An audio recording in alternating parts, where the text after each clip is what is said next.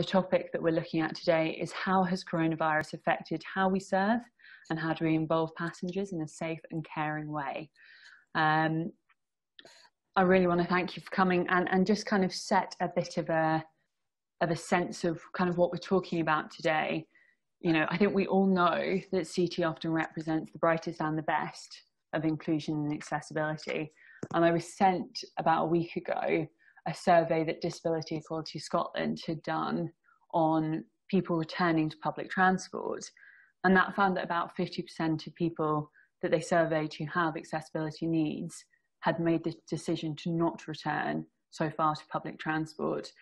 Concerns, unsurprisingly, were around last minute changes to timetables, to routes, capacity on the vehicle, a lack of additional support, and face coverings. And, and it was a pretty depressing read, but there was a real glimmer in the survey to CT, conversely, was described as a godsend. That's a direct quote. Drivers are really helpful and friendly. Dial a ride in my area have added services when public transport just wasn't available. So I think we all know that CT is already doing so many good things for accessibility and inclusion, but there are a lot of new pressures in the pandemic that we currently face. Um, and I think you know, questions around what's an essential journey, who makes that decision, how much agency do people have when there's such a need to protect the community. With tightening budgets, are we still able to offer such a tailored service? And in the midst of all of these new things, these new voices, how can we still hear and include the voices of our service users? So we've got three really helpful perspectives today, utterly different, coming at this from a really different angle that I think we'll be really excited to hear from. So we'll be hearing from Richard Jones, who's Chair of Accessible Caring Transport and himself has User service. We'll be hearing from Eddie Lynch, who's Commissioner for Older People for Northern Ireland.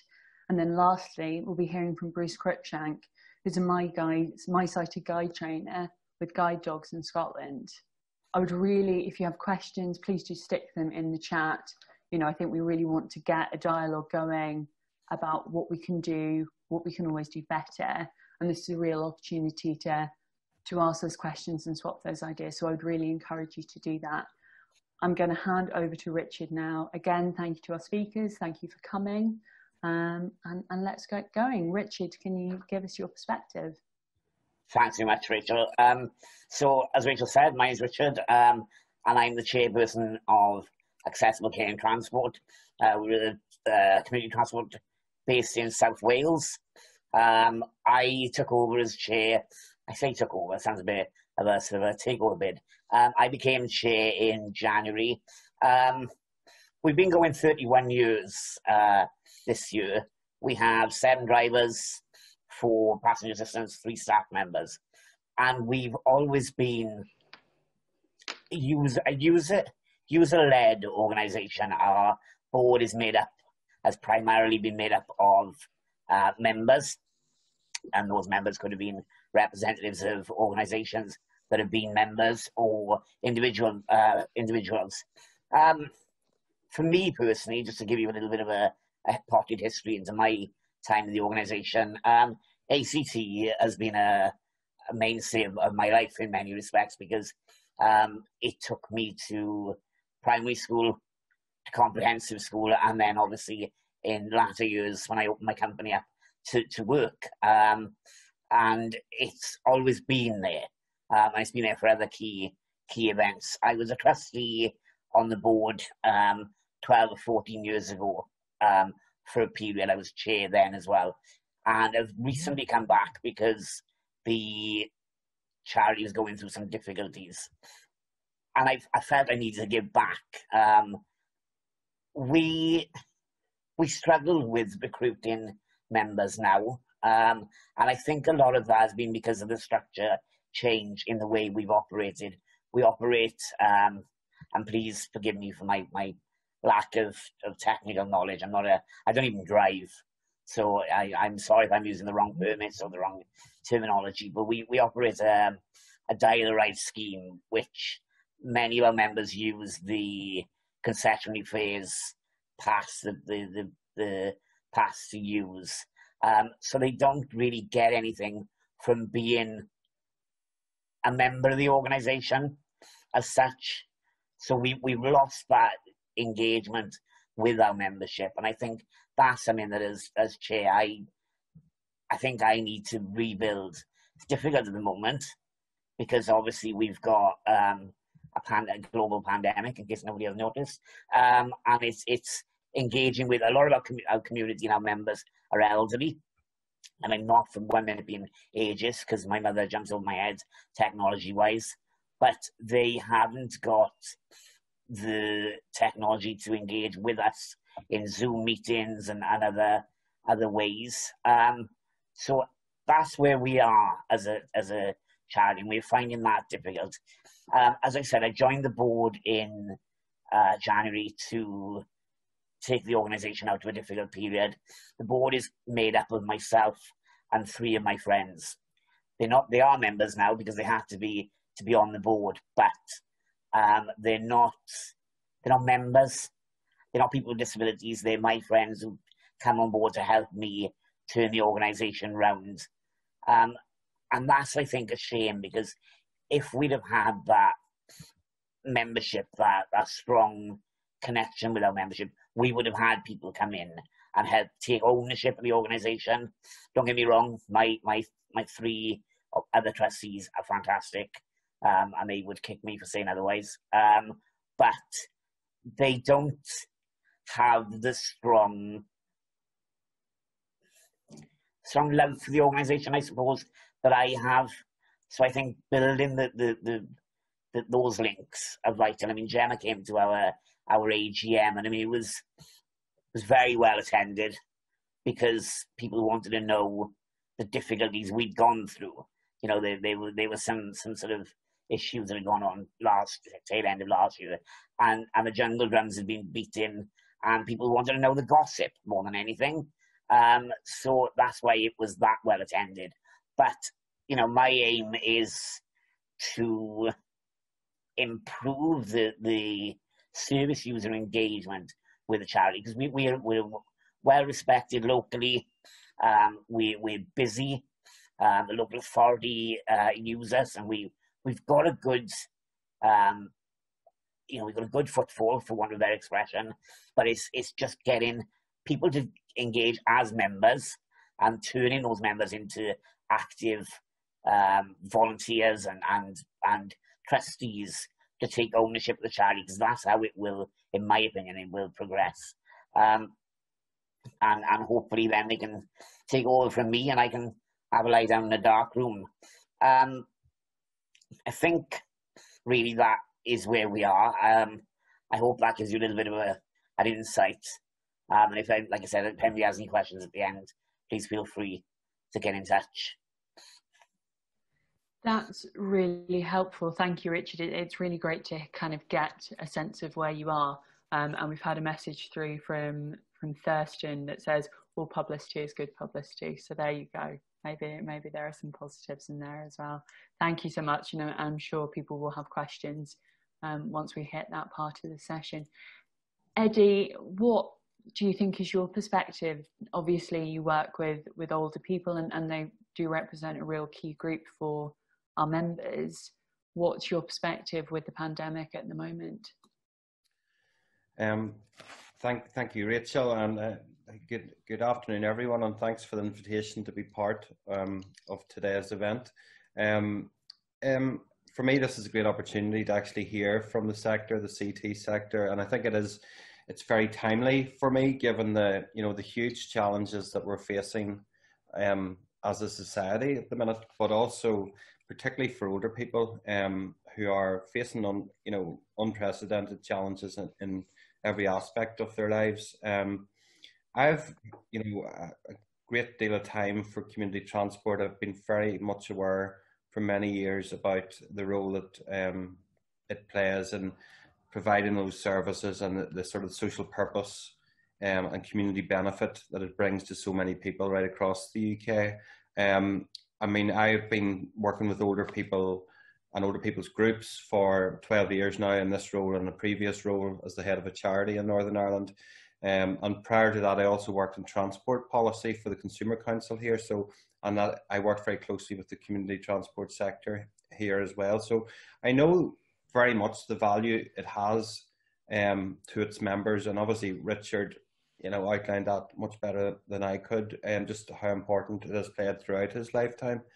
And I think it also, we have an aging population, and you know, one of the big parts of having a successful aging population, if you like, is to keep people active and keeping people socially connected.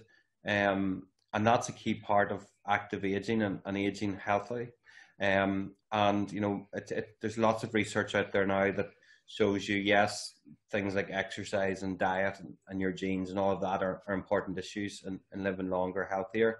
But it's the social connections and being um, retained as part of society and having those connections is also a key part of sustaining people later in life. So, um, for me, I, you know, I have been involved a number of times in my role as commissioner in Northern Ireland to sort of highlight the importance of community transport. Um, you know, get, get I would get involved if there's any consultations and any new regulations or issues um, and try to advocate uh, for the sector because I know about the quality uh, it brings to many older people and people with disabilities and their lives and, and, the difference that makes. And it actually, you know, it really is a lifeline for so many people. So that's where I'm coming from. And I think um, sort of brings it on up up to, to today. And, you know, I think the sector, certainly in Northern Ireland, I'm sure it's the case elsewhere, that there, there have been difficult times, there have been budget cuts, there have been pressures on services,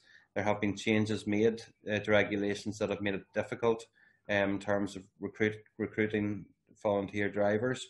Um, and I think the danger at the minute with the pandemic consuming us and all the huge challenges we face, it's very important that we don't let government um, have this distraction of a pandemic to, you know, you know, reduce um, other services like uh, community transport and allow them to wither away or abandon its users. We have to make sure that we have to keep recognizing the good things that are out there, the things that work well, um, and the things that make a difference and support them. So, um, certainly in my role, I at a, sort of at a policy level, my my role is really to promote and safeguard the interests of older people in Northern Ireland. That's what my legislation says. I'm there to to champion the the needs of older people, and I suppose give a voice uh, to the issues that are important to them. And I suppose for many who avail of community transport, they maybe don't have that strong a voice to, to do that. So it's important for myself and other organisations that we use every opportunity to do this. I think where we are at the minute is is a very concerning time. Obviously, we're in, we're in the mouth of the second wave of the pandemic, and I think older people who I'm speaking to are, you know, they find it difficult as we all have um, over the last seven months. But I think where we are now, there are real fears about the sort of medium to longer term impact of this. I think the penny's dropping with a lot of people that, you know, we're not going to have a vaccine by Christmas. You know, we're talking about at least another year, maybe 18 months of this. So, as a society, what we need to be doing is looking at that and, and realizing there are people in our society who are very vulnerable to this coronavirus who will have to go back into shielding. And the question then is, how do we support those people? And I think that's one of the questions, I suppose, for the community transport um, sector, those people who no longer feel safe to go out shopping or, or you know, in, into different places who would maybe use the services. You know, how do how does the sector adapt to that, but still provide that support? You know, and maybe it's about bringing services to those people as opposed the other way. Um, so there are the challenges that I see, um, you know, facing all of us. But you know, um, to me, community transport has always been a very flexible, innovative um, person centered model of transport. And I think because of that, it's it's in a really good position to adapt to these these these times that we, we find. And I think with the right support um, and sort of out of the box thinking, they, that community transport can play a key role in providing that support that older people need uh, in the coming months um, ahead. And to do that, I mean, the, solution is very simple. I, am always a great believer in talking to people and talking to people who use services. Um, to me, it's always about um, my last job in the head of a, a, a, older people's charity. It was about supporting older people to have their say, and our strapline was speaking from experience. And that's to me, that's the key. You know, it's about designing things, listening to service users, and saying, "What is it you need? What where are the areas you're struggling? What would make the most benefit to you in your life?" And it's very hard to beat that. And I think, you know, when people sometimes are asking me in my role, "What do older people need right now?" Yes, of course, they need food and drink and shelter, and we need to protect them. But they need more than that. They need a quality of life. So it, it is about you know human contact. It's about a friendly face. It's about conversation. Um, those are the things that bring quality to life. And I think you know there is a danger unless we focus on this. You know we can't we can't have a situation where we just shut older people away for the next six months and saying, look, you just have to shield you know, lock yourselves down and get out the other side because we know there's lots of evidence that um, the loneliness and isolation of that is actually having detrimental impacts on physical, mental, and emotional well-being. So, to me, community transport is in a really important position to try to keep people connected um, to their communities, try where possible to keep them active, um, and try to stay healthier and and enjoy life. Basically, you know, it's it's about just um, you know even recognizing these are very difficult times for us all. Um, but we do need to reach out to support those who are more isolated, who may not have anybody, who may really rely on on those connections. Um, and I think it's it's not easy. This none of this is easy. Um, but I do think we all have to just think about how we do things going forward now and you know the challenge is set that I think we're we're, we're heading into a difficult winter, um, and I think providers like yourselves have a key role in in working with the government, working with authorities, and working with the people who need your services to see how we get through the next year as best we can. So, I mean that's my my take on things at the minute. I say I'm really delighted to be part of this today, and I'm really keen um, to hear any all the other contributors and any I'll take any questions. So thank you. Thank you so much, Eddie. I think that's really so helpful and keeping a kind of half eye on the chat. I think lots of people are really kind of really understanding a lot of the things you're, you're talking around around those issues of balancing agency and, and the mental health benefits of so many of these things that may or may not be essential journeys. You know, this is such a changing issue, isn't it? And it's really really helpful to get your perspective. And there are definitely questions, I think, once we've heard from Bruce that we'll shoot across to you because we'll be really keen to get your input. So thank you. Last but very much not least, we've got Bruce. Bruce, can you please give us your, your guide dog's perspective? We're so excited to hear how you work. there's no pressure then. Um, good afternoon, everybody. I, my name is Bruce Cruikshank. I am a service user, first and foremost, of guide dogs, um, as well as a my guide volunteer and trainer. Um, I've been involved with guide dogs since 2012, um, since losing my sight in 2010 um, due to mismanagement of my type 1 diabetes. Um, so I've been involved with guide dogs eight years now. Um, so it's great to be part of the the, the, bigger picture at Guide Dogs. Um, Guide Dogs is a very person centred charity in relation to the, the lookout for the well-being and um, the it's not just the dog look out for, look out for the human as well. Um, so that's a, a great part thing to be part of. Um, and they've also got various campaigns and they go about the mobility and the, the access issues to transport and such like. Um, so for me personally, um, community transport's not something you see very much of in our area. Um, so it's all public transport, trains and things.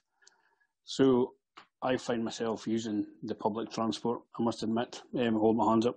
Um, admittedly, I haven't been on one um, since the coronavirus kind of kicked in, has left, or whatever it's up to at the moment.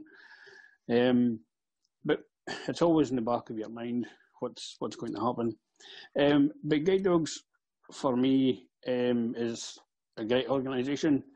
Because of the freedom, independence, and mobility that you get from having the dog.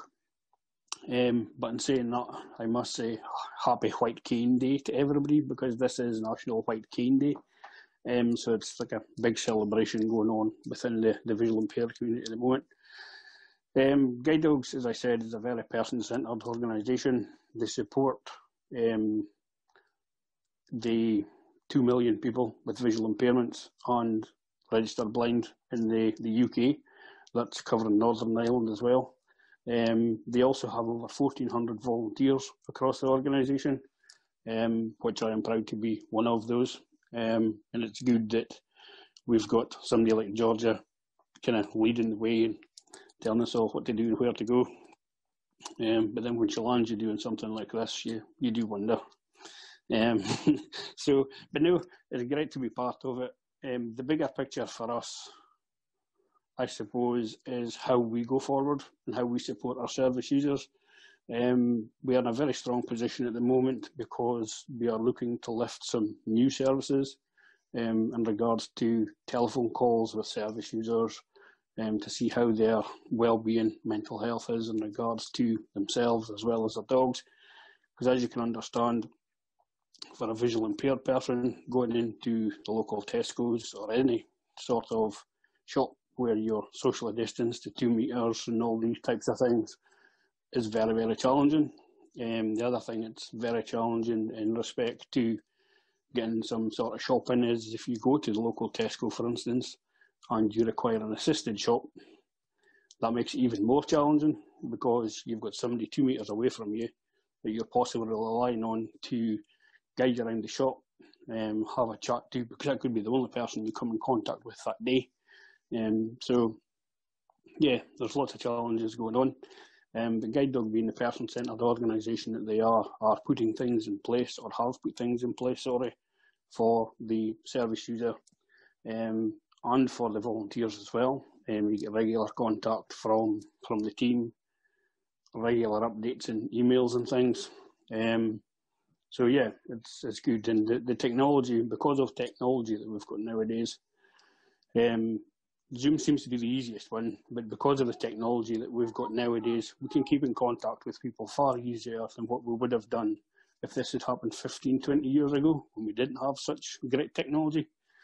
Um, so things are moving forward quite fast, um, but we just hope that when we come out the other side of this COVID situation, that we are in a stronger position to go forward should we ever land back in this again. Um, it's great to be part of today's gathering um, because it's obviously it's, it's, the promotion of guide dogs, but it also gives us an opportunity to meet other organisations that's trying to strive to do the same as what we're doing. Um, and it's always better going forward, stronger numbers. Um, and as Eddie said, it's how we how we support the the older generations, the shielding people, and things along that lines going forward. So, yeah, great to be part of it, and we'd like to thank you for inviting us to it. Thank you so much, Bruce. That's really helpful. I I wanted to ask you now, as part of my sighted guide, that and, and correct me if I if I'm wrong, is people supporting people with sight loss when, for whatever reason, there might not be a dog. Is that right? Um, the the My Guide service can be with or without a dog. Okay. Okay. Um, because you could be uh, an individual with a guide dog living alone, um, but they you have to free run your dog at least twenty minutes per day, three times a week, or okay. uh, twenty minutes a day, or three times a week. But you might not have the confidence to find the the park or your dog mightn't do what it's told, so you need a, a bit of a hand to go and do that. And you might have some family support around you because they may all work full time. Um, so you've got the, the option of a, a My Guide volunteer. Um, can I ask, with the volunteers, are there any are there any sort of key lessons that they learn that would also be useful for our members when they're supporting people with sight loss? How the most important things that uh, taught is how to approach, um, how to guide, um, and to the best thing you can do is ask to see how much assistance that individual needs. Because if you pulled up at my front door and I was getting onto the bus, I'm quite happy to manage myself with the dog. Um, but you could have somebody in their 70s, possibly with a, another mobility issue that needs a bit of assistance. So it's all about that person at that time. Um, there is there is useful videos on YouTube and things that you can watch to see about the, the guiding technique and things. I'm sure George I'll share the, the links on the, the chat with you all that you can use to follow to see how to guide somebody safely. That's so helpful, Bruce. Thank you. I'm realizing, Georgia, that I have really unhelpfully not told people who you are. Georgia is here also from Guide Dogs um, and, and manages the sighted guide training. So if there are any technical questions or just questions about training, um, she is our absolute go-to. Um, and, and I see she's in the chat already. So if you do have questions about supporting people with sight loss, then please do direct those to her rather than us because she will have far better answers. Um, Gemma, firstly, let me say thank you so much to all our speakers. I think those are three really, really interesting perspectives um, and, and ones that kind of get the mind ticking over about what we could do differently, better, you know, and, and how we can best serve passengers. Gemma, are there any kind of pertinent themes or questions coming up in the chat that you want to post to the to the speakers? Yeah, we've had quite a, an interesting discussion, and thanks so much to all the members who are just getting involved in and actually giving some answers to people. This is something that we see quite a lot in our advice drop-in sessions that we host on a Friday. Um, there's a huge wealth of knowledge and expertise in the CTA membership. So thanks so much for sharing your knowledge and your your experiences with each other there. Um, I've just pulled out some of the questions um, and discussion points. Um, so Maggie um, posed a question quite early on in the chat, um, talking about passengers with restricted mobility. So because of the, the strict hygiene routines and um, making sure that people are maintaining as, as much social distance as possible. Some people find it quite difficult to get in and out of the back seat, which is where they're advised to sit to maintain the most um, safe distance. So how, how are um, participants um, supporting passengers to, to manage this, to, to make your service more accessible in those kinds of situations? I don't know whether Richard might be a good person to come in on that in, in terms of how your, your staff and your volunteers are supporting passengers at the moment. Sorry. Um, it's difficult, isn't it? Because it's the same as with, with clamping wheelchairs. Clamping wheelchairs is another one where, know, speaking of my own personal circumstances, you can't really socially distance when you when you put your head under somebody's wheelchair. Um, so I, I suppose it, it's you know, our buses, as, as, as you know, they, they laid out to this, this seats that people can and can't sit in. It's just about allocating the right seat to the right passenger. I mean, we, as, as, a, as an office team, we know generally, we, we don't have, um, you know, people who haven't booked before generally. And if we do, we, we have a chat with them, we find out what they, what they, I, I don't want to use the word capabilities are. That's the wrong, it's the wrong way. But we find out their limitations and, and how much support they need, and then we direct them to the seat that's, that's most appropriate for them, really. Um, and obviously, you know, somebody isn't able to get into the back, we have got the lift, so we could lower the lift down so they could come up on the lift to get into the back seat, um, which would probably be easier for them. But um, it's just about finding people's what what, what works for, for the individual.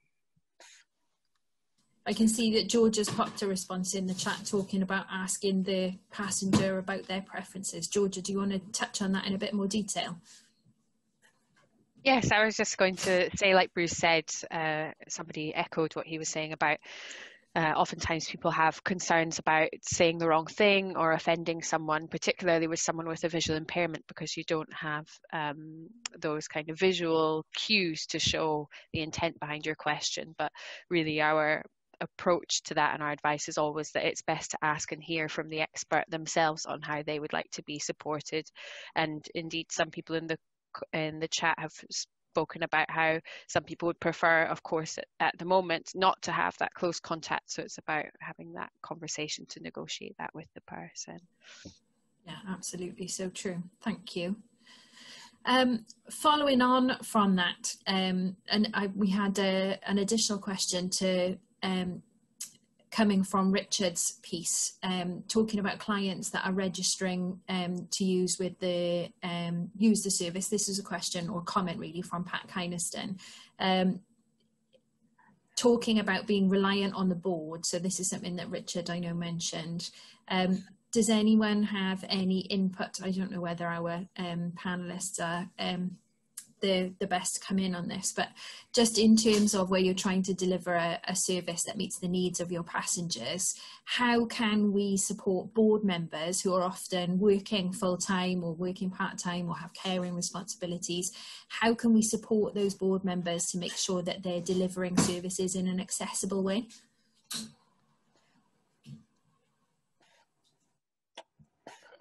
Can I, can I jump in? It's yeah. it's it's difficult, isn't it? Um, and and Gemma, you know, I was speaking to you, I suppose, in a way because you know this better than anybody. Um, becoming chair of ACT in in um, January, it's been relentless. It's it's it's been, I mean, it, it's been a pandemic on its own um, because it's been so demanding, um, and it is it's it's difficult um, because I, as I said at the start of my, my piece, I don't drive. Um, I was out of touch because obviously I'd, I'd been a, a, number of years away from the organisation, so I wasn't familiar with uh, permits and, and licenses. You know, Jen has given us some great training, which has been well received, even though I turned up late to one event, virtually late. It turns out virtually late. Um, but I, um, um, but I, I think it's right, and I think we we we try and engage with our members. We we regularly contact the members, even when the service was sort of uh, running as a skeleton. We we wanted to make sure they had a friendly face, you know, a, friendly voice to, to speak to, and that they knew that we were, while we may not be able to offer them everything that we would normally offer them, that we were still there. But as a board, we we we haven't got that support other than, in all fairness, through through the CTA and, and through Gemma, who's, who's been fantastic. It, we, you know, becoming a trustee for me, and I'm a trustee of a few organisations, is a full time job in itself. And I think people, I find it hard to to to balance that. You know, when you when you're recruiting new trustees and you're looking at taking the organisation forward, people don't want to get involved. They they either want to get involved and they realise how much work it is and go, or they know how much work it is and don't want to get involved. And that's the worry for me is is is we're scaring people, and it's it's not just CTA or, or community uh, or transport in general. It's across the voluntary sector. We're scaring people off by the the work, the demands that we put on our our trustees. Um, so I know that hasn't answered the question strictly, but it, it is my thoughts on it. Can I just put in a wee plug at this point for the big ideas, big questions session we're holding later um, sometime between now and Christmas about volunteers. I think, Richard, you'd be a shoe in for the audience of that one um, because I think we'll be hitting a lot of these themes again. Mm. Um, I, I wanted to ask you all a question really about choice. You know, there is obviously currently a real need to balance personal desire of where people might want to go um, with safety for the organisation, for the driver, for the for the passenger assistant. Do any of you have any experience or any opinion on how you have those conversations where you're looking to balance all of those different things? Because you know it, it's a really sensitive conversation to have, particularly I think where people maybe have less mobility than they had last time they were on the service six months six months ago. So, do any of you have any perspective? I'm thinking, Eddie, we spoke about this on Monday, you know, about how you make that balance. Yes, I mean, I, I think this is one of the the big issues now for older people in general. Um, that um, at the start, it was very much the message was stay at home, lockdown, shield, and by and large, a lot of people could do that for a period of time. It wasn't easy, but people thought I can do that for two or three months. I think as we now enter in a longer term, people have to have the right information about the risks that are out there, but we also have to balance that with the views of people. Um, older people, like any group, have a range of different opinions and views, and um, some will be more risk averse than others. Um, some will, will make want to make decisions about their lives and saying, well, I, I can't cope with just full lockdown for another year, so I'm going to be sensible, but I'm I want to still be active in some respects. And I think um, for yourselves and dealing with your users, you'll probably get a mix of people with that as well. That that idea. So I think that's the challenge. I think we have we have to treat people as adults. We have to sort of be as careful as possible. But I think we do need to recognise all parts of health. Um, it, you know, it's not just physically protecting people from the virus. Um, and I think that's what's coming out more clearly now is that the mental and emotional and physical well-being of people are affected by being shut away. You know, we're hearing a lot of stories about people whose mobility, as you say, has reduced since lockdown because they just physically haven't been out and about. And um, so I think we're learning. You know, I think the the the, the health service is learning about the impact of this. I, I, still think there's a lot more to come out of it. I'm sure there's going to be huge mental health issues come out of it. Um, but I, I do think it's a, it's about again responding, listening, um, and trying to come up with solutions that meet the needs of people. But at the same time, as providers, you obviously have a duty of care to your drivers, your volunteers as well. And it's just it, I think it's really working together. We have a, I'm not sure if it's a common across the UK, but we have a term called co-production in Northern Ireland that is trotted out at every instance. And quite frankly, there's there's not often good examples of it actually in place. But I do think if ever we needed co-production, was it's now. It's about really working together and listening to people about what they need, and really as, as much as we possibly can try to try to shape and design our services around that. And I think it, it's it's up to authorities and funders as well to be flexible with providers. You know that it's not just here's the service you must provide. We're in we're in different times now, and we have to we have to be flexible. And I think that there's a duty on funders and authorities to recognise that and say to people, look, you're the experts you're the guys at the front line. You're the guys who deal with people and, and support people. You know, you work out what works best for you. Yes, take your precautions. Yes, put them in place. But let's try to get a bit of a balance.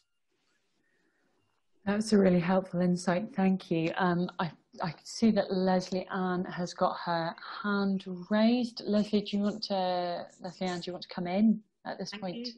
Can you hear me okay? Yeah, that's perfect. Hi, yes, just very, I'm Leslie Ann from Southampton Community Transport. Um, just following up on what Eddie was saying there, the first thing we did when we um, said we were going to start our transport back on the 1st of July, obviously we did our risk assessments, but we had all our volunteers in um, socially distanced. Some just said immediately that they didn't want to drive, and the ones who did want further information come in.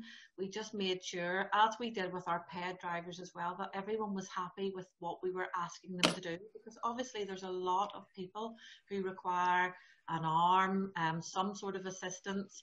They all have their PPE, they all have their gloves, their shields, um, their spray, but we wanted to make sure everyone was comfortable because through this experience, as, again, as, as Eddie has said, um, what we're finding from people is there are some people who are still afraid to go out. They mm. still enjoy that weekly phone call, a bit of crack, a bit of chat. There are also people who have said, we really want to get out here. You know, it's going to cause me more harm being at home mm-hmm. than not going out. So we had to just make sure that some of our volunteers said, no, we're not ready yet, but they wanted to volunteer. So they actually, replaced them with another organisation. So they're doing good morning calls on behalf of, behalf of that organisation. But the ones who wanted to, they knew that I would say 60% of our passengers needed some assistance, but we sort of were deeming the length of time it takes you to walk them from their house to the car or the bus. It could be five minutes. It's not a long period of time, you know. So we were deeming that the risks of that, with everyone wearing PPE, our passengers wearing masks, were very low um, against the risk of them being at home and us not being able to transport them. So that has worked really well for us. And again, some people are still not out, but a lot of people are, are really happy to be out. And it's just trust with your passengers, knowing what they need and knowing that your, your um, volunteers are completely happy with what they're doing. And anyone who didn't want to volunteer could freely step out. And, and some of them are not ready yet, but we're glad that we have probably about a third of our volunteers back. But listening to both your volunteers and your passengers is crucial and making sure everyone's happy with what they're doing. Thank you so much. That's that's just such a really helpful opinion, Leslie, and, and it's great to hear about your service. I, I think the other thing that kept jumping out at me when you were speaking was just the adaptability that your organisation has demonstrated. You know, to move people around and and to offer new things, and, and maybe we will see. You know, do you think you will see a continuation of those more kind of via the phone style services yeah. alongside? Um, you know, it's different, slightly different here in Northern Ireland that we've had more restrictions. Now, what we are having to ask people is this an essential journey?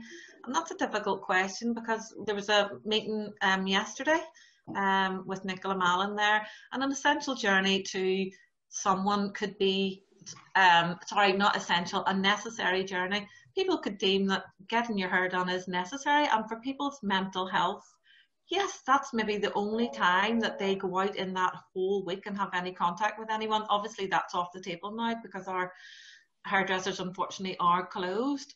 But yes, the phone calls are still continuing. We're still picking up prescriptions and I put in the chat there and I just love this story. We had one lady who was shielding um, she has a guide dog and she rang and she says, I'm really, you know, my guide dog, I can't walk my guide dog. I'm shielding, I can't go out. And we were able to find another organisation who provided a volunteer guide dog walker for her. And it was something I'd never ever thought of. Obviously, guide dogs need worked. And she was really concerned that her dog wasn't getting out. And if, and someone else was looking for a gardener. So if we can't do it, it's finding who we have within our community that can help there. And I think that's so important that people aren't being left. That something that you maybe don't think is important to you is really important for someone else. And that's where necessary journeys to me could be. If it's a hairdresser's, it's fine. If it's the shop, that's fine. As long as we ask the question and they're happy to, to go out, we're happy to, to accommodate them. Thank you for that. And I think, to be honest, it also it really speaks to the relationship you have with your service users that that lady did give you a ring, you know, and, and share that concern with you. Because I think, you know, you're right to say it's, it's more than just the journey, isn't it? It's all the support that comes along with that. And I think that's really, you know, that's really clear from from that lady's, you know, just relationship with you. Um, I wanted to kind of put that question to to Georgia and Bruce as well, you know, from a from a non-CT perspective. But I'm sure there are questions coming up for you guys as well, where you're balancing individuals' wants with safety concern? Is that something that you guys are kind of experiencing at the moment? Um, yes, definitely. And it's something I think what we've spoken about here of that idea of sort of co production is definitely the way that we've approached it. It is definitely challenging where we have restrictions in terms of what our legal team, our health and safety team are prepared to allow us to roll out and do as the operational staff. Um, but in terms of, we've got several partnerships uh, where we have a sighted guide volunteer that is helping someone get out and about, where we had ceased the partnerships we'd reverted all of them to phone contact while we were in strict lockdown and now we're looking to resume some of those and the priorities to resume have been those people where it's it's a case of their mental well-being potentially being at risk from isolation. And i think the approach that we've taken most specifically is and it's a little bit arduous but we have over the phone with both the volunteer and the service user we've been having a discussion going through the criteria on what for us would be the NHS Scotland advice and just saying if you fall into any of these groups, you are considered at a higher risk. However, these are the measures that we're putting into place by providing um, masks and hand sanitizer and visors to each party. And it's really, for us, it's just a question of has the person been in a position to make an informed decision about what they're entering into. And if both the volunteer and the service user, in spite of being in those higher risk groups, if they are prepared to, and if there otherwise would be a risk to mental health and well-being, then that's a partnership that we're very, very happy to resume. That's really helpful, thank you. I am aware that we have ever so slightly run over. Um, if people want to head off, then thank you very, very much for coming. Um, but we can keep going, I think, for about another 10 minutes. There's still a ton coming through in the chat. So, Gemma, are there any other kind of key questions that we want some insight on? Um, there's very much a, a, theme of the conversation around this um, question of what is an essential journey, what is a necessary journey, and I've seen that um, we've had Debbie Thurston, Angela, and Vicky all talking about the importance of creating and maintaining different kinds of services that allow CT to um, continue to support people wherever their needs are. Um, and I think that's going to be increasingly important as we go back into tighter restrictions now, as as we go into different tiers and local lockdowns, national lockdowns, whatever's going to happen next. Um, but there's been a, a, question that Bill, actually, our chief exec, has posed, uh, which I think would be an interesting one for the panelists to have a think about. Um, let me just bring it back up on my screen. Um, talking about um, the importance of connectivity. So um, interested in hearing what panel and members in the chat think about agencies relying on folks having smartphones or digital technology to access support and keep them connected during the pandemic, especially in rural areas which aren't as well connected digitally or older people who may not have access to the internet on a phone. Is it a problem uh, and what oh. can we do to help? Uh, I think I'll I'll take that one if you like. Lovely, um, thanks, Bruce. As as well as being a, a guide dog volunteer, I also support people with their mental health um, and well-being. Uh, we've seen a raise of 62% of people coming through since the COVID situation.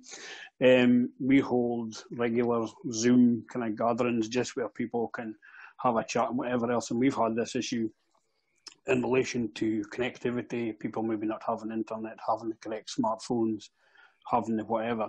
Um, so what we did was we actually applied for a pot of money, um, and we gave people they maybe had the phone but they didn't have the the data packages and things. So what we was doing was we was we was giving them um, data packages, um, the internet dongles, and we was also kind of loaning out iPads and things um, to people that didn't have connectivity, didn't have the the techno- technology and things. So through the COVID situation, we've been doing that, but we've also been very fortunate in the Moray area um, because there's been local resilience hubs and groups have done a similar thing to what we've done um, at work, and they've done the same again. So you've got all these people connecting that never had a connection before. Um, but what we've done is we've done our research and we've actually mapped the whole of Moray and we've found out what what internet provider um, kind of hosts the most the, the best coverage in various areas and things. Um, so that that stands us in a very strong position going forward as well. So we can help these people going forward again should we need to. That's such an amazing idea, Bruce. How available was that information to get your hands on? Um, because the organisation I work for is just based in Moray, um, it, we we have a newsletter and things, and then we put it on the social media and things. So, um, but it was through the SCVO funding, through the Scottish Government yeah. voluntary organisation funding, that we we got the the money to do that. That's really interesting, thank you, and and actually a really novel way of dealing with that problem because it you know it's something that we hear time and time again are those kind of digital black spots. So that's, but what we what we also had to do, just to finish that bit, is what we also had to do with that was is that for the people that's maybe not had the connectivity or the the like say using Zoom for the first time, for instance, we had to do a bit of coaching, uh, coaching, sorry, not coaching, we did a bit of coaching over the phone and how to use Zoom and what all the the bits was for. Um, so it's, it's worked really, really good. That's really helpful, and, and hopefully not too much coaxing involved in the in the process.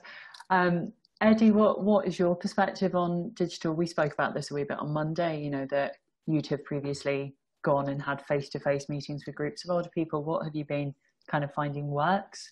Is there a, an alternative?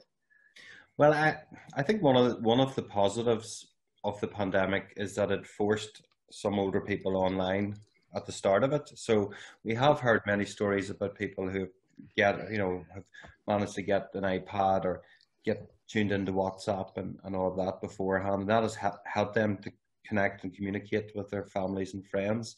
But it's cl- there's clear that there's still a huge amount of older people not online. It's only about um, 54% um, of over 65s are online in Northern Ireland.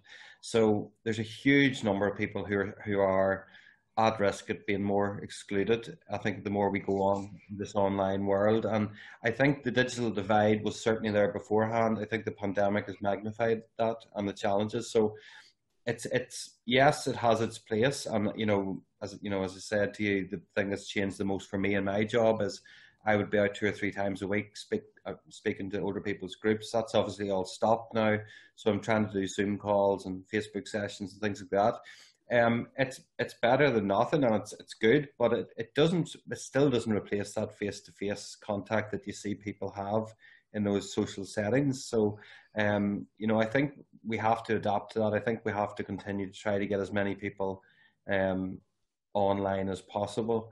But even those people who I've spoken to in Zoom who are the the active people, the people who are always out running groups and organizing things, you can tell by them that they're still a bit down in the mouth about you know having to just meet their friends and families through the internet, albeit they, they recognise that um, particularly being able to see people is much better than just a phone call for a lot of people. So I think that has made a difference.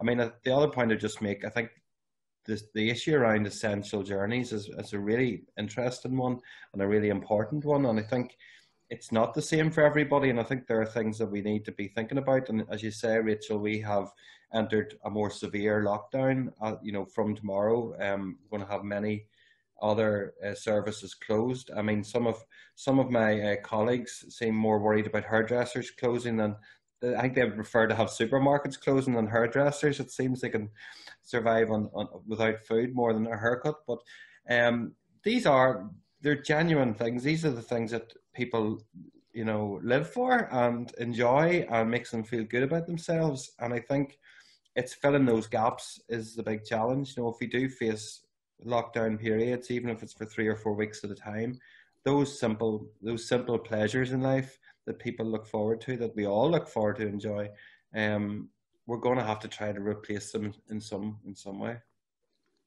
Thank you. That's yeah i think that's a really good note to kind of pull everything to a close on there, we are going to have to come up with new and, and innovative ideas. And looking at the chat, there are tons of them coming up. You know, I, I don't know who first said Christmas cards, but I think that's a, a wonderful idea. And do feel free to send me one because I never get any. Um, folks, thank you so much for our panelists, for your input, your perspective. It's been really, really helpful and just eye opening to, to kind of see how other groups are are tackling these issues. Thank you for all of you in the chat as well. It's been really great to see all these ideas coming and going. Um, we will share a video recording if there's anything that you think I'd quite like to get the details of that again. Um, thank you to Gemma for fielding all the chat and um, pulling it all together so beautifully. Um, and yeah, do please come to the rest of our sessions. There's more good to go. There's national sessions to meet government ministers or the head of bus. Um, and of course, there are more policy events, have a wee look at our website. Thank you again to our speakers um, and go and have a great lunch, guys. Thank you very much indeed. Bye now. Thank you. Thanks. Bye, Bye everybody.